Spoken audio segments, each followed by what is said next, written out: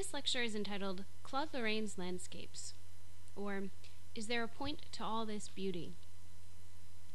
Now, Claude Lorraine, who you see over here on the left, is often just called Claude. Uh, Lorraine refers to the place in France uh, that he called home, or that was his home before he went to Italy. Now, he was a contemporary of Nicolas Poussin, who we studied in the previous subunit, and you might remember that Poussin was also a Frenchman who spent most of his life in Italy. So important to keep that in mind. There's sort of a trend here with some of these French artists we're looking at. Now, like Poussin, he spent a great deal of time in Italy, and he was very influenced by the work of Italian artists that he saw in Italy. But he was also very influenced by the Italian countryside, the countryside around Rome. And he used what he saw uh, as inspiration in his landscapes. And you see two of his landscapes on the right side of the screen here. Um, and he's known for these really lush, sumptuous, beautiful landscapes with this soft light and almost um, an impossible perfection. So and just to introduce you to what these are, we're going to look at them a little bit later, but this image here is landscape with the flight into Egypt, and it dates to 1663. And over here on the right is an image known simply as pastoral landscape, and it dates to 1648. And I think you can see just right off the bat, they are these really idealized, beautiful landscapes. Um, and there are certainly details within them of people and um, buildings, but mainly they are landscapes. Now, before we take a close look at these paintings, I want to take a look at some of the other artists of the time to provide some context and understand what Claude's unique role was in the Baroque.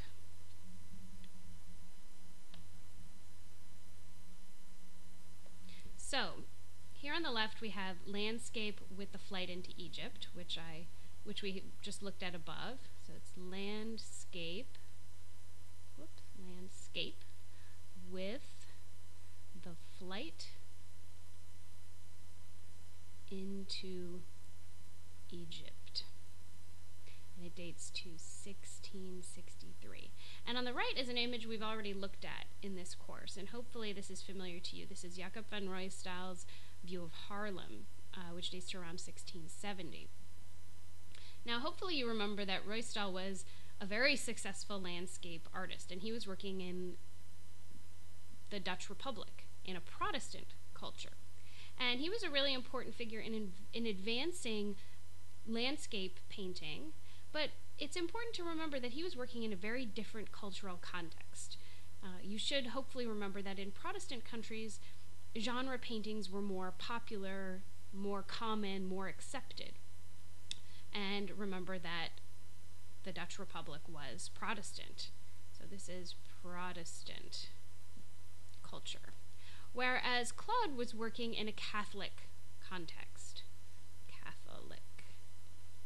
And in Catholic cultures, paintings were still expected to have a little bit more grandeur in them. And what I mean by that is you often see noble paintings depicting historical events, usually from the classical world or from the Bible. And of, of, course, there are a lot of religious paintings commissioned in the Catholic in Catholic cultures. So the fact that Claude was able to paint a lot of landscape paintings and to make them very successful and popular in this context is important because he was working against a little bit more of a hurdle there than uh, was in this Protestant context.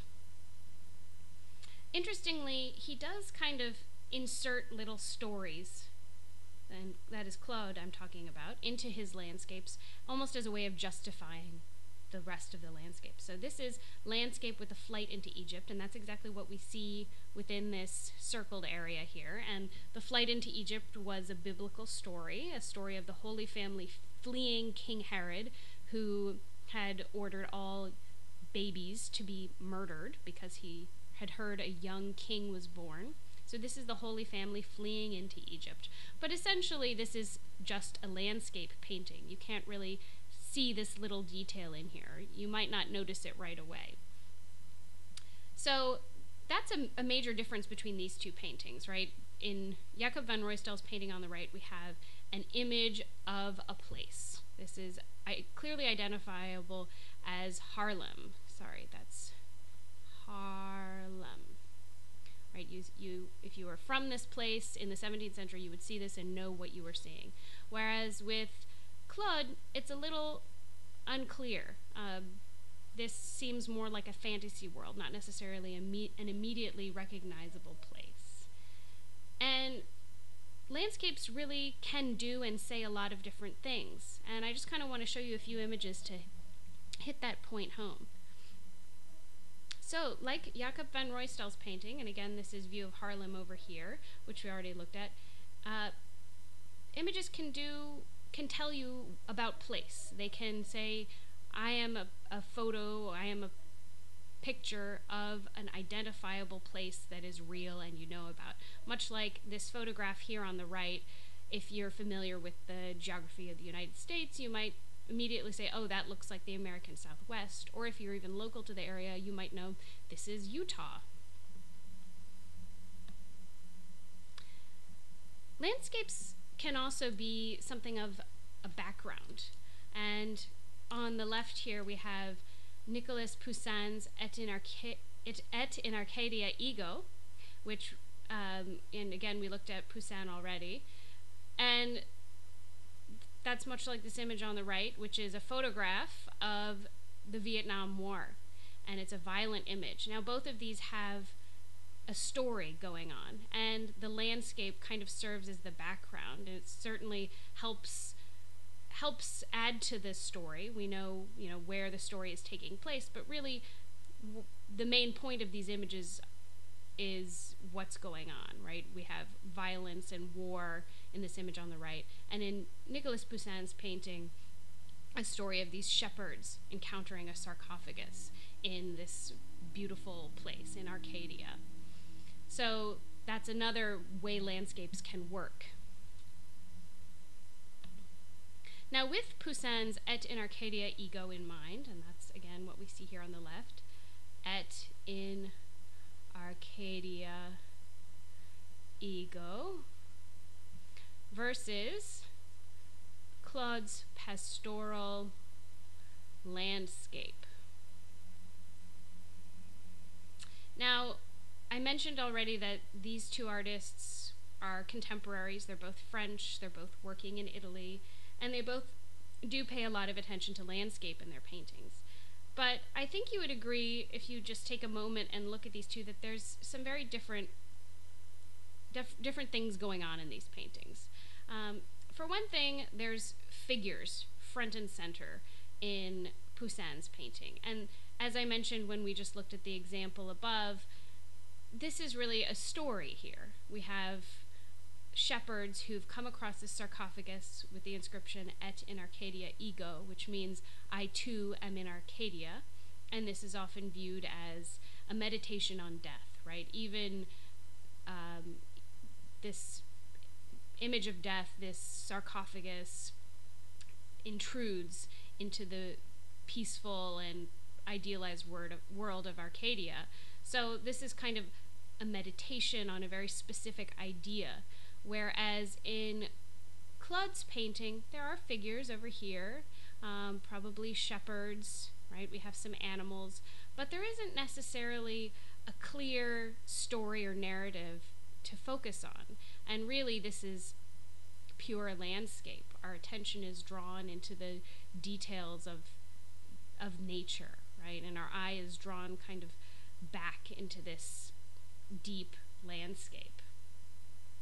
And indeed, Poussin is often called an intellectual painter, or you hear scholars call it call him stoic, whereas there seems to be a greater level of emotion in Claude's painting. Um, both artists are clearly influenced by classicism, um, but again, there's there's more emotion and um, a meditative quality in Claude's painting here on the right. And indeed, the style is different too. Notice the softness of the light in Claude's painting. You can really see the way it illuminates the landscape. Um, and really, the landscape is front and center here. Um, there's more attention to color in Claude's, whereas it's more about line in Poussin's. And really, I think this boils down to uh, an interest in mood in Claude versus um, narrative and ideals in Poussin. And to me, Claude's painting evokes a timelessness, a sort of perfection, and indeed, there is sort of a, a perfection of already beautiful uh, nature in Claude's painting. And really, it's a meditation on beauty and this, this golden age of classicism and a, a desire to return to that kind of perfection. So, back to my question is there a point to all this beauty? Well, I think in this seemingly straightforward landscape, there is really a wealth of very deep and lofty ideas that you can meditate on. And yeah, maybe beauty is sort of the point too.